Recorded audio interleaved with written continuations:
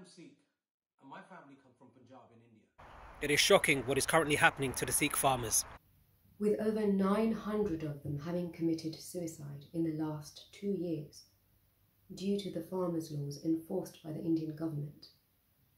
The new law means that the government could stop buying grains at the guaranteed prices, resulting in the Sikh farmers' exploitation in their crops being bought very cheaply. When they are already struggling to survive with the lack of payments offered.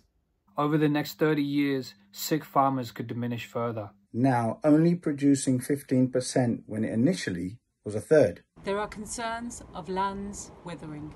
And water shortages for the farmers. Many in India rely on farming for their existence. They're struggling to feed themselves and their families.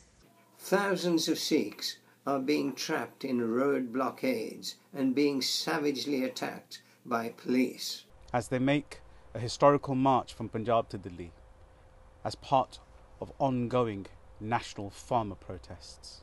Government suppression of Sikh farmers protesting these laws will endanger their livelihood.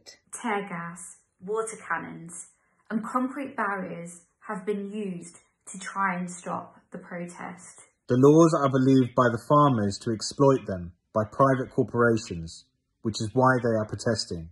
The protesters are people of all ages from various faith backgrounds. Police violence against protesters have included attacks on elderly citizens.